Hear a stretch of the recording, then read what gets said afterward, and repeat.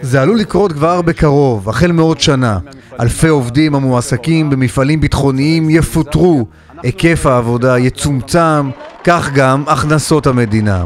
הסיבה, החלטת ארצות הברית שישראל לא תוכל לנצל את כספי הסיוע שהיא מקבלת לטובת רכש מקומי, כלומר פרויקטים דוגמת פיתוח החץ, כיפת ברזל ונגמש נמר יועברו למפעלים בארצות הברית. מדינת ישראל מברכת על הסיוע האמריקאי במסגרת צורכי הביטחון של מדינת ישראל. אך יחד עם זאת, אנחנו לא רוצים שאותם כספי סיוע יבואו על חשבון התעשיות הישראליות. אנחנו רוצים להבטיח עצמאות בכל מה שקשור לייצור ביטחוני. לכן, תוקם ועדה. אנחנו מקיימים סדרת דיונים בוועדת חוץ וביטחון, ועדה משותפת לכספים וחוץ וביטחון, במטרה למצוא פתרונות לכל האתגרים שעלו. אנחנו לא נשאיר אף אחד לבד, אבל אנחנו לא נוכל לגעת בהסכם הזה. ההסכם הזה הוא חשוב מדי.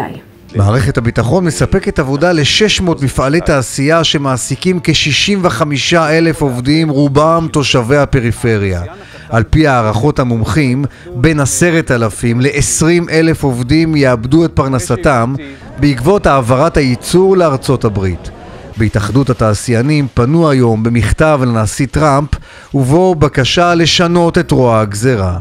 אנחנו חושבים שהנשיא טראמפ אה, ידע לבטל הסכמים רעים ואנחנו חושבים שההסכם אה, שנחתם לפני כשנה וחצי, שנתיים הוא הסכם רע גם לביטחון של ארה"ב וגם לביטחון של ישראל. אנחנו חייבים אה, לבצע בו שינויים והתאמות בכדי לשמר את העצמאות הביטחונית שלנו, בכדי לשמר את התעשייה הישראלית. אבל הפעם טראמפ ככל הנראה יעדיף את רווחתם של בני עמו. בישראל חסרי אונים כרגע, מחפשים פתרון שאם לא יגיע, יביא לגל פיטורים מהנרחבים שהיו במשק הישראלי מאז הקמת המדינה.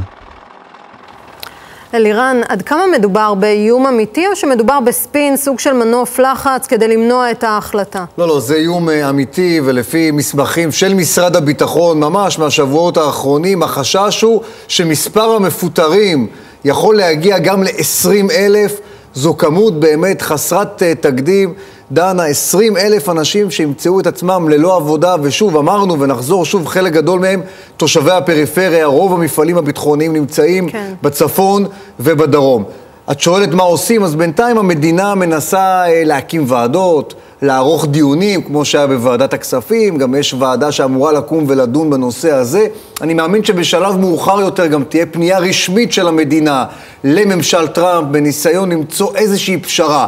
מה זה אומר פשרה? חלק מהייצוא, בעיקר של הפרויקטים המשותפים, הישראלים-אמריקנים, כן יעבור לארצות הברית, אבל חלק בכל זאת מכספי הסיוע האמריקני יישארו בישראל, וזה אומר שרוע הגזירה לא תבוטל. עדיין הרבה מאוד אה, אה, עובדים יפוטרו, אבל לא 20 ואולי לא עשרת אלפים, אלא הרבה פחות.